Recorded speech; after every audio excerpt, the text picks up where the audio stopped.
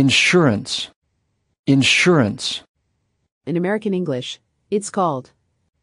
insurance, insurance, insurance, In British English, it's called.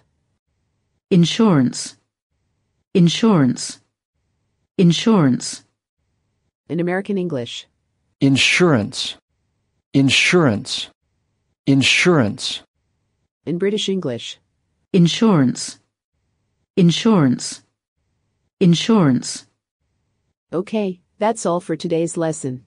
By the way, do you know that with 3,000 words, you can understand 90% of everyday English conversations, newspapers, and so on?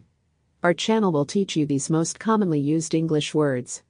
Please subscribe our channel and learn English really fast and efficient. Speech Girl here.